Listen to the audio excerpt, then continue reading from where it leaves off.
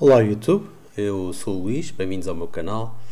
Uh, bem, recentemente comprei esta placa adaptadora PCI Express para montar, uh, para instalar mais um, um segundo SSD NVMe no meu computador, na minha torre, uma vez que a motherboard só leva um NVMe e já lá tenho um. E portanto achei que era uma boa oportunidade, estava a bom preço essa placa adaptadora na, na Amazon. Eu vou deixar depois o link na descrição do vídeo. Uh, bem como para este SSD, pá, isto foi para experimentar, eu comprei o mais barato que havia, isto custou 20 e tal euros, 128 GB, um NVMe da Amazon Espanha. Portanto, pá, espetacular. Um, eu depois vou fazer um vídeo uh, dedicado só a esta review a esta, a esta placa adaptadora e ao, à velocidade do NVMe. Portanto, se quiseres saber mais, depois uh, segue o canal que eu vou fazer o vídeo, se calhar ainda vou editar hoje.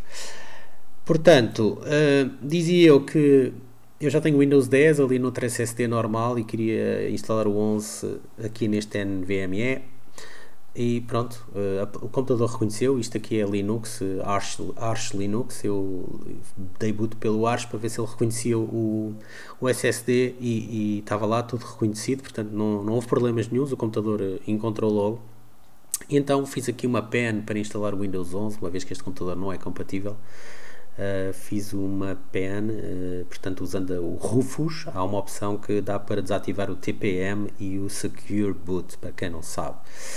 Portanto, hum, eu já tinha tentado instalar, eh, portanto, estavam ali já umas partições no, no disco.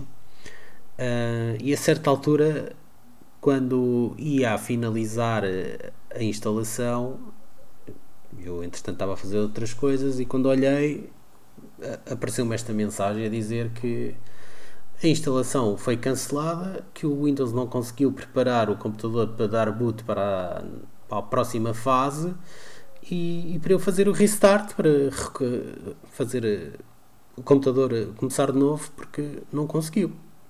Então foi, pronto, fui fazer o que toda a gente faz, foi à procura da solução e depois de, de ler umas quantas coisas uh, recomendavam que desconectássemos todos os outros discos do, de um computador. Então foi o que eu fiz, tirei o outro SSD, o NVMe que tinha direto na motherboard, Desliguei aqui o, o, disco com o normal, o disco mecânico e os outros SSDs que tinha ligados e, e voltei a fazer a instalação.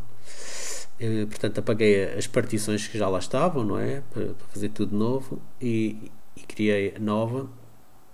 Ele automaticamente faz estas três partições e de seguida, pronto, acelerei aqui o vídeo e como vão ver, correu tudo sem qualquer tipo de problema um, e funciona tudo 5 estrelas. Portanto, quanto à velocidade deste, destes SSDs são brutais. Eu depois vou, como disse, vou deixar aí os links na, na descrição do vídeo. Alguém queira comprar, porque isto é mesmo um investimento.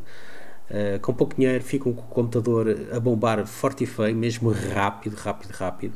Mas eu vou fazer um, um vídeo dedicado mesmo só a esta placa um, com velocidade de um, de um, SSD M2 normal e este o NVMe e.